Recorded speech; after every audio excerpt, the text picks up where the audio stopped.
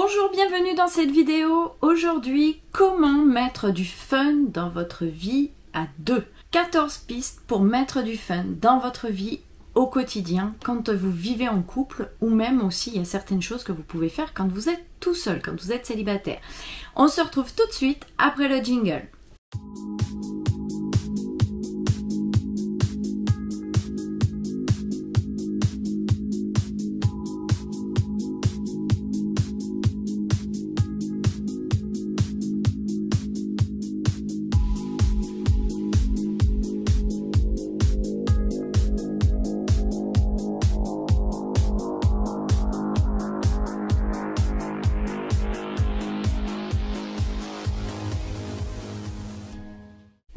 Je suis Nathalie Marco, astro-coach, experte en relations de couple et en connexion intérieure.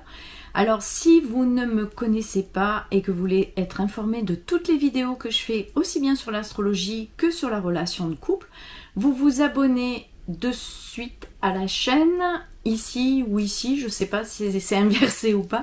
Vous vous abonnez à la chaîne et vous activez la cloche, comme ça vous allez recevoir toutes les prochaines vidéos, vous serez informés.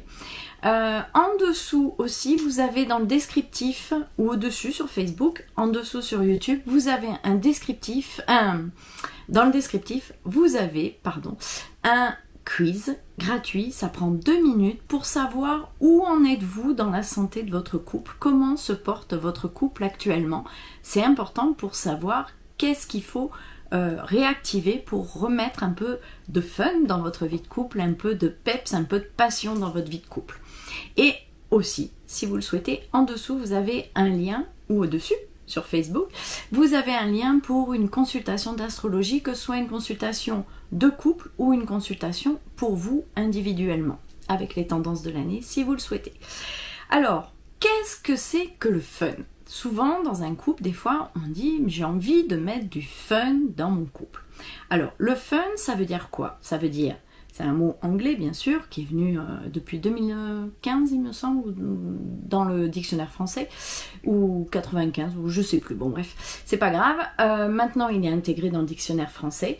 Ça veut dire mettre du plaisir, mettre de l'amusement dans votre vie à deux, ou votre vie seule. Et c'est aussi euh, mettre du rire. En fait, ça va se passer par du divertissement, par du jeu, par du sport. Il s'agit pour moi, à mon sens, c'est de retrouver son enfant intérieur. L'enfant, il est spontané, il est imprévisible, il a beaucoup d'imagination, il est curieux et euh, surtout il va faire des choses sans jugement sans penser à ce que les autres vont bien pouvoir penser de lui. Alors maintenant, on va voir les 13, 14, parce que j'en ai trouvé une autre de plus en préparant, 14 astuces pour mettre du fun dans votre vie. Alors tout d'abord, ça peut commencer le matin au réveil. C'est simplement changer votre routine matinale. C'est-à-dire que si vous vous levez, vous n'écoutez jamais la musique, par exemple, eh ça va être de mettre la musique et de la mettre un peu fort. Bon, faites attention aux, voisins ou alors avec un casque, mais mettre de la musique pour vous donner un peu de punch dans la journée ou dans la voiture en partant au, travail si vous, allez travailler. Euh, vous allez pouvoir mettre la musique à fond et éventuellement chanter. Vous pouvez vous faire une playlist de musique dynamisante. Ça va vous mettre du baume au cœur pour la journée. Ça peut être aussi changer d'itinéraire pour aller sur votre lieu de travail. Pourquoi pas? Pourquoi pas changer d'itinéraire. Sortez. Alors, c'est vrai qu'on est en période de Covid. Maintenant, euh, normalement, on devrait bientôt être déconfiné. Sortez, essayez d'aller le plus possible. Euh, il y a quand même des fois des événements en plein air qui se, qui se programment, qui se font. Et euh, là, je pense particulièrement dans le sud, près de chez moi, il y a des concerts dans les vignes qui vont se faire cet été. Apparemment, ça a l'air de, de, se faire. Donc, préparez, organisez des choses. sortez essayez de voir si vous n'avez pas des possibilités de faire des choses à l'extérieur, puisque les intérieurs, les ciné, les restos, tout ça c'est fermé. Donc essayez de voir si vous ne pouvez pas faire des choses à l'extérieur et vous pouvez aussi aller faire un marché local par exemple.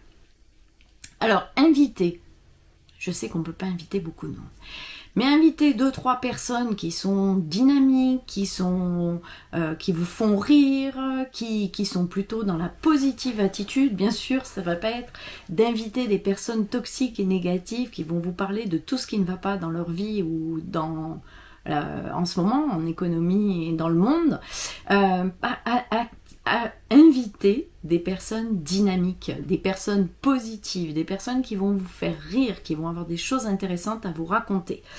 Euh, promenez-vous dans la nature. Alors ça peut être simplement aller se promener à un endroit où vous savez qu'il y a une rivière, une cascade ou un lac et pourquoi pas, si le temps le permet, aller vous baigner, vous arroser mutuellement. Ça peut créer de la complicité comme un enfant le ferait.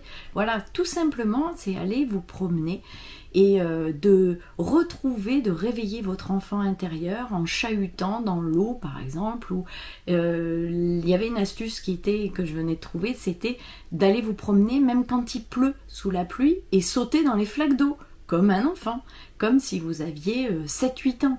Allez-y, régalez-vous. Ça peut être aussi de changer la décoration de votre appartement, de votre maison. Parce que souvent, on est euh, dans la même ambiance et au bout d'un moment, on, étouffe, surtout en ce moment avec ces périodes de confinement où on passe vraiment beaucoup de temps à la maison. Eh bien, changez vos meubles de place ou alors changez la déco ou allez acheter un pot de peinture et peigner un mur de votre salon dans une autre couleur que celle qu'elle était jusqu'à maintenant. Voilà, ça permet de dégayer, de changer, de mettre un peu de, fun, d'imprévu, de choses nouvelles euh, dans votre vie euh, à deux. Et ça, vous pouvez aussi le faire quand vous êtes célibataire, bien sûr.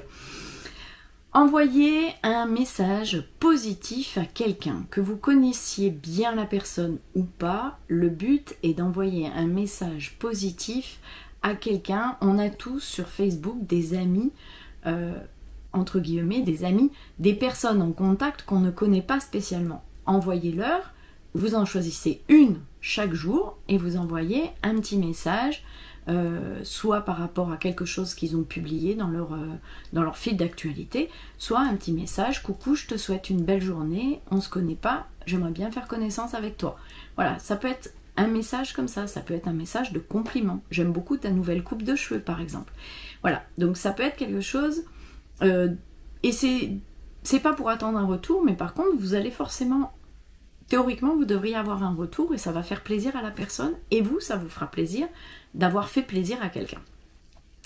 Euh, pour mettre un peu de fun dans votre vie, vous pouvez aussi très bien vous décider de danser. Mettez la musique un peu fort le soir et vous dansez seul ou avec votre conjoint. Si vous êtes en couple, vous pouvez très bien danser. Vous pouvez très bien inventer, enfin danser même si vous ne savez pas réellement, le tango, danser euh, un rock, euh, voilà, vous poussez un peu les meubles et vous dansez tous les deux. Ça vous permet de mettre un peu de fun dans votre vie de couple. D'ailleurs, euh, dans les magasins de bricolage, vous avez maintenant des ampoules avec des, lumières, ça se vit sur une, une grosse douille, un culot à, à, vis, et vous, et vous le mettez sur une lampe et vous avez des, paillettes, enfin pas des paillettes, des, lumières euh, qui tournent euh, comme si vous étiez dans une boîte de nuit. Donc ça peut être un peu rigolo en ce moment, dans cette période, de faire ce genre de choses. Une autre idée, c'est de prendre du temps pour soi, de vous faire plaisir. Prenez du temps pour vous. Alors ça peut être de la lecture. Si vous n'arrivez pas à vous isoler chez vous parce que vous avez les enfants qui sont là, le mari ou, la femme, vous prenez votre bouquin, vous allez marcher, s'il fait beau, vous allez vous installer quelque part dans la nature. Vous pouvez même faire une relaxation, une méditation en pleine nature, lire un livre à l'extérieur dans un endroit agréable où vous vous sentez bien, peut-être avec une belle vue, euh, nous ici on est près des calanques, peut-être une belle vue sur les calanques et ça peut faire beaucoup de bien dans votre journée, ce genre d'activité. Ça peut être de se faire un massage quand on est deux. Chacun son tour, on se masse le dos tranquillement avec des huiles essentielles, tout ça. C'est très très agréable. Et si les spas, les hammams réouvrent, vous pouvez très bien décider d'aller faire juste une heure de spa ou une heure de jacuzzi ou une heure de hammam ou euh, des fois les trois activités sont regroupées dans le même endroit et vous y passez une heure, deux heures comme vous en avez envie. Mais c'est vrai que ça fait vraiment beaucoup de bien, ça permet de s'aérer la tête. Et puis euh, l'idée c'est en fait, pour mettre du fun, l'idée c'est de décider ça au dernier moment. Voilà, bah, tiens, prends ton maillot, on va au sauna. Et, comme ça, ça, met un peu d'imprévu. C'est l'imprévu qui est important dans le, fun. Ça peut être de prévoir un voyage des paysans. Je mets des guillemets voyage des paysans, puisque en ce moment on ne peut pas le faire trop. Mais euh, vous pouvez très bien décider de partir à, dans un village à une dizaine de kilomètres de chez vous. Ça, ça, peut arriver euh, de trouver un endroit sympa, dormir une nuit dans un, je sais pas, un hôtel dans un château ou quelque chose, euh, voilà. Et souvent, en ce moment, ils prévoient euh, les repas dans la chambre et, hum, et en plus, il y a des promos parce qu'ils sont pas complets. Et quand on pourra à nouveau, on sera libéré, qu'on pourra à nouveau bouger, ça peut être d'aller dans un département juste à côté de chez vous, peut-être où vous n'avez jamais été. Et c'est l'occasion de découvrir un nouvel endroit. Euh, ça peut être aussi dans le même style, visiter un quartier de votre ville que vous n'avez jamais visité. Parce que pas le temps, pas l'envie, pas, la curiosité. Eh bien, obligez-vous à aller visiter un quartier de votre ville ou de la ville d'à côté que vous n'avez peut-être jamais visité. Comme ça, ça mettra un peu d'effet de surprise dans votre vie. Une autre astuce, ce serait d'apprendre quelque chose de nouveau. Ça peut être des formations en ligne, ça peut être des vidéos gratuites sur YouTube, ça peut être par exemple apprendre l'astrologie. D'ailleurs, je vais vous mettre le lien en dessous sur ma formation d'astrologie. Ça peut être euh, euh, regarder des vidéos de développement personnel. Ça peut être regarder des vidéos sur comment élever son enfant euh, de tel ou tel signe, comment comprendre son conjoint de tel ou tel signe. Voilà. Ça peut être tout ce qui est qui va vous nourrir de l'intérieur, qui va vous permettre d'avoir un mental plus important.